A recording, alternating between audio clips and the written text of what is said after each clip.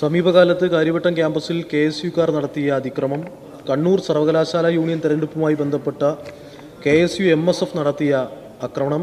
ഈ സന്ദർഭത്തിൽ ഒരു സംഘടനയെ മാത്രം ഒറ്റതിരിച്ച് ആക്രമിച്ചുകൊണ്ട് അവർ കേരളത്തിന്റെ വിദ്യാഭ്യാസ മേഖലയിൽ നൽകിയിട്ടുള്ള സംഭാവനകളെ തമസ്കരിച്ചുകൊണ്ട് നടക്കുന്ന പ്രചരണങ്ങളോട് യോജിപ്പില്ല. ബഹുമാനപ്പെട്ട ശ്രീ കെ എം സച്ചിൻ ദേവ് ബഹുമാനപ്പെട്ട ഉന്നത വിദ്യാഭ്യാസ വകുപ്പ് സർ കേരളത്തിലെ സർവകലാശാലകളും കോളേജ് ക്യാമ്പസുകളും ഉയർന്ന ജനാധിപത്യ മൂല്യവും ഉന്നത പഠന നിലവാരവും പുലർത്തി വരികയാണ്.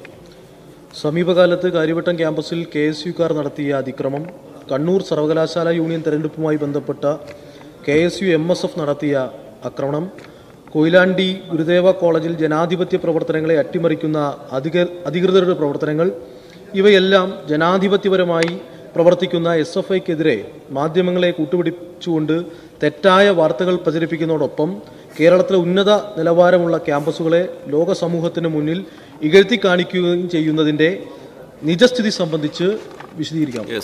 മിനിസ്റ്റർ സമീപകാലത്ത് കേരള സർവകലാശാല കാര്യവട്ടം ക്യാമ്പസിലും കൊയിലാണ്ടി ഗുരുദേവ കോളേജിലും നടന്ന സംഘർഷങ്ങൾ സർക്കാർ ഗൗരവമായി എടുക്കുകയും ആവശ്യമായ നടപടികൾ സ്വീകരിക്കുകയും ചെയ്തിട്ടുണ്ട്. ഇതുമായി ബന്ധപ്പെട്ട് അന്വേഷണങ്ങളും നടപടികളുമൊക്കെ വേണ്ട വിധത്തിൽ സ്വീകരിച്ചു വരുന്നുണ്ട്.